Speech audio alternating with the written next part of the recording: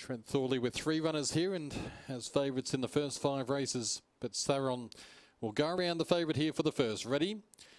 Racing, Saron began quickly. Favourite rolls straight to the early lead. Eden Avenue through to second around the outsiders. Raven on Kobe. Improving out wider. Spot on Hudson. Followed by Spot on Thyra. Well back Spot on Lads. Then Paddy's Gold. Pressure last of all. Saron does it well by four. Here comes the little mate now. Raven on Kobe giving chase. A gap off in the field. Eden Avenue. Spot on Lads. Saron's got a kick. It's well clear. Impressive debut. Saron won it by five on the line. Raven on Kobe second. Third Spot on Thyra. Followed in by uh, rather Spot on Lads third. Then Spot on Thyra fourth and Spot on Hudson fifth. We got them all out eventually. Paddy's Gold Pressure, Eden Avenue behind those.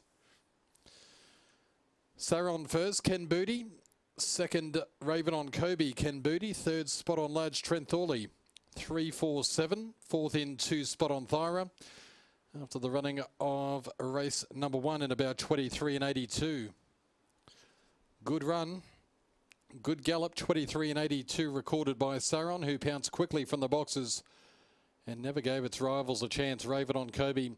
Nice run on the fresh side for second. Spot on Lads gets third. Spot on Thyra back in fourth. And then came Eden Avenue.